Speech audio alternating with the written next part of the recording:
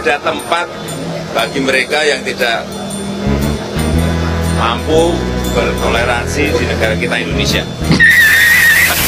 ngumpulin ibu-ibu yang lain, memanggil penceramah semaunya atas nama demokrasi.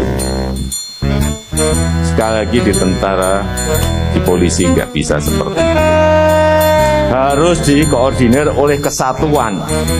Tahu-tahu mengundang penceramah radikal. Nah,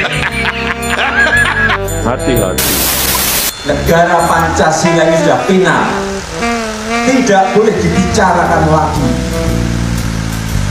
kalau ada yang keluar dari Pancasila dari Undang-Undang Dasar 45 dari NKRI dari kebinekaan kita ya kita gebuk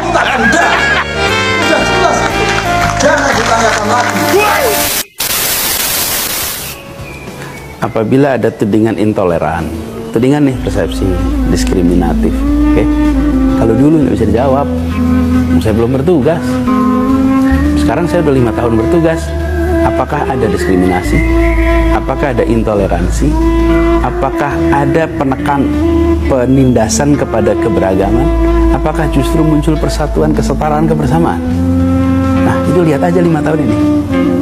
Jadi saya mengajak pada semua mengubah cara menilai dari menilai berdasarkan kata orang berdasarkan persepsi-persepsi yang coba diciptakan menjadi menilai berdasarkan kenyataan-kenyataan yang sudah terjadi.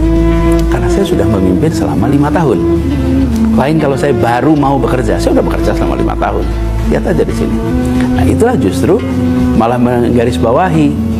Bahwa di Jakarta Alhamdulillah persatuan terjaga, kesetaraan terjaga, keteguh, keteduhan terjaga. Kami menjaga persatuan, membangun keteduhan, ketenangan. Orang merasakan, tapi orang tidak sadar balik, di balik rasa tenang, rasa teduh itu ada usaha yang serius. Saya mendatangi semua kelompok. Ul paling kiri saya temuin, paling kanan saya temuin, paling bawah saya temuin, paling atas saya temuin, semua saya temui ada orang-orang yang kalau saya temui ramai jadi berita. Ada ketika saya temui nggak pernah jadi berita. Tapi itu kan masalah pilihan media memberitakan yang mana, bukan? Sebagai gubernur, saya mendatangi semua, baik yang diberitakan maupun tidak. Baik yang diramaikan maupun disepikan. Tapi tugas saya menjangkau semua. Sehingga ada situasi apa pun saya bisa menjangkau. Jadi ketika Jakarta, lima tahun ini Alhamdulillah. Kita syukuri hubungan antar umat beragama tenang, teduh. Cek aja faktanya